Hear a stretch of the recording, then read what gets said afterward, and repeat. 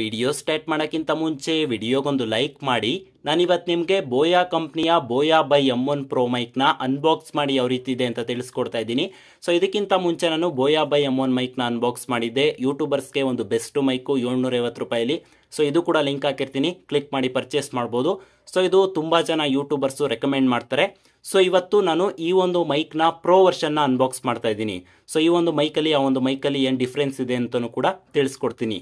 So ಇವಾಗ pro ವರ್ಷನ್ನ ನಿಮಗೆ ನೋಡೋಕ್ಕೆ ಈ ಥರ ಸಿಗುತ್ತೆ. ಇಲ್ಲಿ ಮೇಲ್ಗಡೆ ಪ್ರೋ ಅಂತಿದೆಯಲ್ವಾ? ಸೊ ಅದನ್ನ ಮಾತ್ರ ನಿಮಗೆ ಎಕ್ಸ್ಟ್ರಾ ಸಿಗುತ್ತೆ. ಆಮೇಲೆ ಇಲ್ಲೊಂದು ಸ್ವಲ್ಪ ಸೆಟ್ಟಿಂಗ್ಸ್ ಚೇಂಜ್ ಆಗಿರುತ್ತೆ.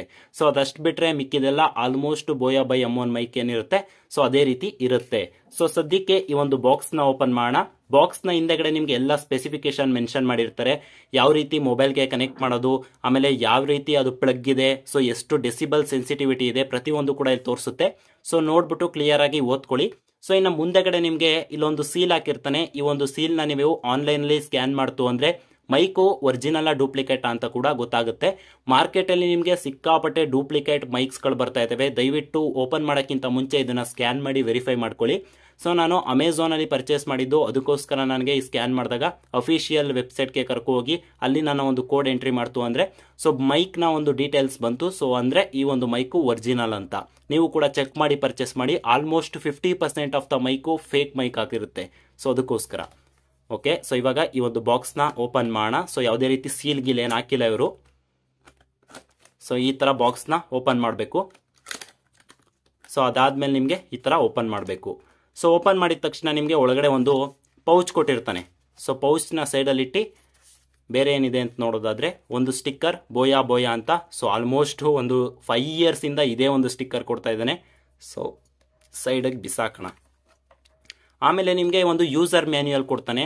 ಸೊ ತುಂಬ ಇಂಪಾರ್ಟೆಂಟ್ ಅಪ್ಪ. ಈ ಒಂದು ಮೈಕ್ನ ಪರ್ಚೇಸ್ ಮಾಡ್ತು ಅಂದರೆ ಯೂಸರ್ ಮ್ಯಾನ್ಯಲ್ನ ಓದೋದು ಕಂಪಲ್ಸರಿ ಯಾಕಂದರೆ ಯೂಸರ್ ಮ್ಯಾನ್ಯಲ್ ಇಲ್ಲದೆ ಏನಾದರೂ ಮೈಕ್ನ ಯೂಸ್ ಮಾಡ್ತು ಅಂದರೆ ಖಂಡಿತವಾಗ್ಲೂ ನಿಮಗೆ ಆ ಒಂದು ಔಟ್ಪುಟ್ಟು ಸಿಗೋದಿಲ್ಲ.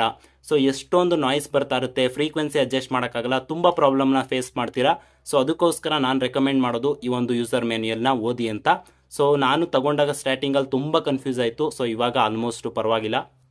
ಸೊ ಇದನ್ನು ಬಿಟ್ಟರೆ ನಿಮಗೆ ಒಳಗಡೆ ಮತ್ತೊಂದು ವ್ಯಾರಂಟಿ ಕಾರ್ಡ್ ಸಿಗುತ್ತೆ. ಸೊ ಈ ಒಂದು ವ್ಯಾರಂಟಿ ಕಾರ್ಡ್ನ ನೀವು ಕೂಡ ಇನ್ಫಾರ್ಮೇಷನ್ ಎಲ್ಲ ಹಾಕ್ಬಿಟ್ಟು ಸೊ ಇಲ್ಲಿ ಸ್ಕ್ಯಾನ್ ಮಾಡಿಬಿಟ್ಟು ನೀವು ವ್ಯಾರಂಟಿಯನ್ನು ಕ್ಲೈಮ್ ಮಾಡ್ಕೋಬೋದು. ಒನ್ ಇಯರ್ ವ್ಯಾರಂಟಿ ಇರುತ್ತೆ. ಮೈಕ್ ಏನಾದರೂ ಹಾಳಾಯಿತು ಅಂದರೆ ಹೊಸ ಮೈಕ್ ನಿಮಗೆ ಕೊಡ್ತಾರೆ. ಸೊ ಬಾಕ್ಸಲ್ಲಿ ಬೇರೆ ಏನೂ ಇಲ್ಲ. ಈ ಒಂದು ಬಾಕ್ಸ್ನ ಕ್ವಾಲಿಟಿನೂ ಕೂಡ ಅಷ್ಟರಲ್ಲೇ ಬಟ್ ಆದರೂ ಮೈಕ್ನ ಕ್ವಾಲಿಟಿ ತುಂಬ ಚೆನ್ನಾಗಿದೆ. ಸೊ ಇನ್ನು ಈ ಒಂದು ಪೌಚ್ ಒಳಗಡೆ ಮೇಯ್ನ್ ಡಿವೈಸ್ ಬರುತ್ತೆ ನಿಮಗೆ. ಸೊ ನೋಡ್ತಾ ಇದ್ದೀರಾ? ಸೊ ಅದ್ರ ಜೊತೆ ನಿಮ್ಗೊಂದು ಸಣ್ಣ ಪೌಚ್ ಕೊಟ್ಟಿರ್ತಾನೆ ಇನ್ನೊಂದು. ಸೊ ಒಂದು ಪ್ಯಾಕೆಟು ಇದರಲ್ಲಿ ಏನಪ್ಪ ಐತೆ ಶಲ್ಲಿರ್ಬೋದು ಮೋಸ್ಟ್ಲಿ ಹಾಂ ಸೊ ಈ ಥರ ಓಪನ್ ಮಾಡಿದ್ರೆ ನಿಮಗೆ ಒಳಗಡೆ ಒಂದು ಇದು ಕೊಡ್ತಾನೆ. ಏನಪ್ಪ, ಇದು ನೀವು ಕಂಪ್ಯೂಟರ್ಗೆ ಅಥವಾ ಡಿ ವಿ ಡಿ ಪ್ಲೇಯರ್ಗೆ ಅಥವಾ ಆರ್ಕೆಸ್ಟ್ರಾದಲ್ಲಿ ಅಲ್ಲಿ ಇಲ್ಲಿ ಕನೆಕ್ಟ್ ಮಾಡ್ತೀರಾ ಅಂದರೆ ಸೊ ಈ ಥರ three point five M M ಇಂದ ಈ ಥರ ಒಂದು ದೊಡ್ಡ ಪ್ಲಗ್ ಬರುತ್ತಲ್ವಾ, ಆ ಥರ ಪ್ಲಗ್ಗೆ ಏನಾದರೂ ಕನೆಕ್ಟ್ ಮಾಡಬೇಕು ಅಂದರೆ ಈ ಒಂದು ಫ್ಯೂಚರ್ನ ನಿಮಗೆ ಕೊಡ್ತಾನೆ. ಸೊ ಅದಾದಮೇಲೆ ನೀವೇನಾದರೂ ಕಾಲರ್ಗೆ ಸೊ ಇವಾಗ ಶರ್ಟ್ ಕಾಲರ್ ಇರುತ್ತಲ್ವಾ, ಆ ಕಾಲರ್ಗೆ ಸೊ ಅಥವಾ ನೀವೇನಾದರೂ ಸ್ಯಾರಿಗೆ ಅಲ್ಲಿ ಇಲ್ಲಿ ಹಾಕೊಬೇಕು ಅಂದರೆ ಸೊ ಈ ಥರ ಒಂದು ಪ್ಲಗ್ ಕೊಡ್ತಾನೆ. ಸೊ ಈ ಒಂದು ಪ್ಲಗ್ನ ನೀವು ಮೈಕ್ನ ಫಿಕ್ಸ್ ಮಾಡಿ ಸೊ ಈ ಥರ ನೀವು ಶರ್ಟ್ಗೆ ಹಿಂಗೆ ಫಿಕ್ಸ್ ಮಾಡ್ಕೊಬೋದು. ಅದಕ್ಕೋಸ್ಕರ. ನಾರ್ಮಲಿ ಎಲ್ಲರೂ ಕೂಡ ಇದನ್ನ ಯೂಸ್ ಮಾಡೋದು.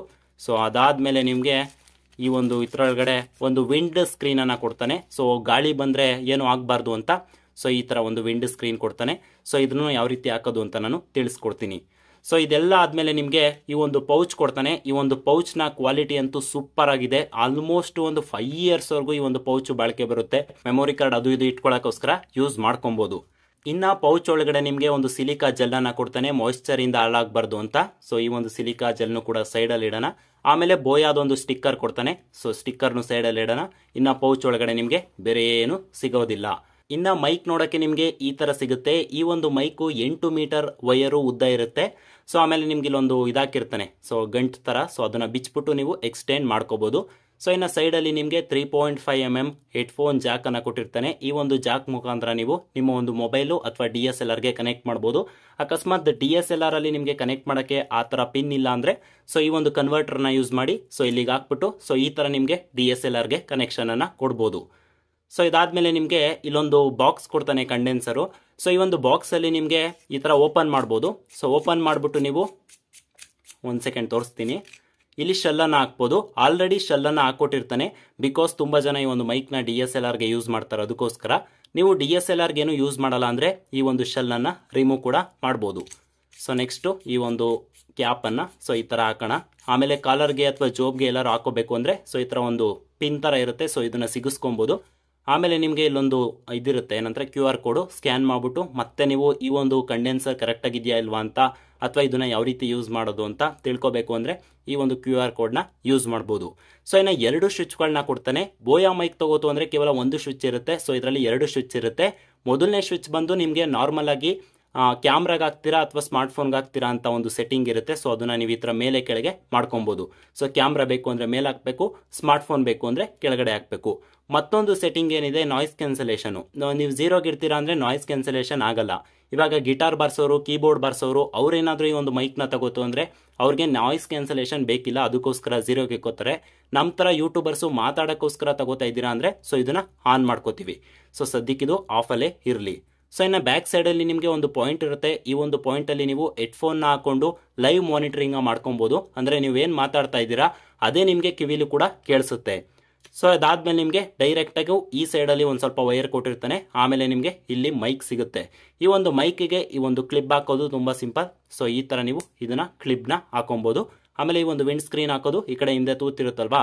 ಸೊ ಅಲ್ಲಿಗೆ ನೀವು ಈ ತರ ಹಾಕ್ಬಿಟ್ಟು ಸೊ ಈ ತರ ಹಿಂಗೆ ಸಿಕ್ಸ್ತು ಅಂದ್ರೆ ಸೊ ಈ ಒಂದು ಮೈಕು ರೆಡಿ ಆಗುತ್ತೆ. ಇದನ್ನ ನೀವು ಸ್ಮಾರ್ಟ್ ಫೋನ್ಗೆ ಹಾಕಬೇಕು. ಸೊ ಇದನ್ನ ನೀವು ಕಾಲರ್ಗೆ ಹಾಕೋಬೇಕು. ಆಮೇಲೆ ನೀವೇನೇ ಮಾತಾಡಿದ್ರು ಸೊ ಈ ಒಂದು ಮೈಕಲ್ಲಿ ರೆಕಾರ್ಡ್ ಆಗುತ್ತೆ. ನಾಯ್ಸ್ ಕ್ಯಾನ್ಸಲೇಷನ್ ಬೇಕು ಅಂದ್ರೆ ಆನ್ ಮಾಡ್ಕೊಳ್ಳಿ, ಬೇಡ ಅಂದ್ರೆ ಆಫ್ ಮಾಡ್ಕೊಳ್ಳಿ. ಕ್ಯಾಮ್ರಾಗೆ ಬೇಕು ಅಂದ್ರೆ ಶೆಲ್ನ ಹಾಕಿ ಕ್ಯಾಮ್ರಾಗೆ ಬೇಡ ಅಂದ್ರೆ ಶೆಲ್ನ ಹಾಕಬೇಡಿ. ಸೊ ಆಮೇಲೆ ಒಂದು ವೈರ್ನ ನೀವು ಎಷ್ಟುದ್ದ ಬೇಕಷ್ಟುದ್ದ ಮಾಡಿಕೊಂಡು ಸೊ ಕಾಲರ್ಗೆ ಹಾಕೊಂಡು ರೆಕಾರ್ಡಿಂಗನ್ನು ಮಾಡ್ಬೋದು.